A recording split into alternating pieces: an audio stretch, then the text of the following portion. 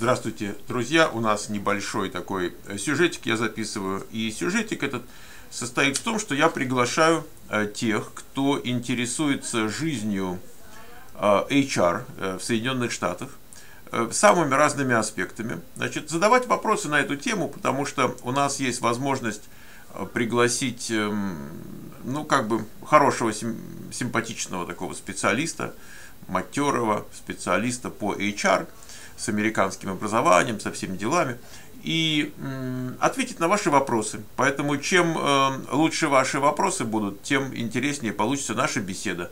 Э, вопросы задавайте в комментариях к этому видео.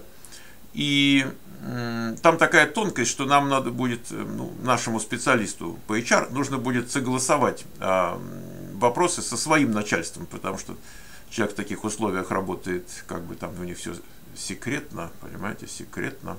Вот, э, поэтому давайте мы за пару дней э, соберем вопросы, потому что то, что будет после пары дней, уже может не попасть в список. Вот, дальше там покажут, утвердят, и мы сможем сесть э, с человеком и поговорить.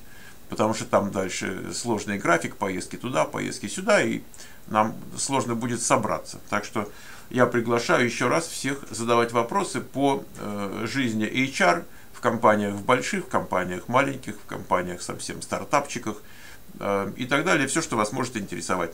Э, спасибо большое за внимание и за участие в задавании вопросов.